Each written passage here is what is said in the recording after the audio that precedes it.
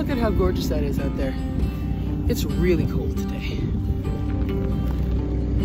But I can't help A, being grateful for everything, and uh, B, wearing crazy hats. so it was, the swing in temperature has been just insane. It was like plus two yesterday, and I think it's down to minus 17. Like, that's nuts. It makes you wonder what's going on in the world, you know?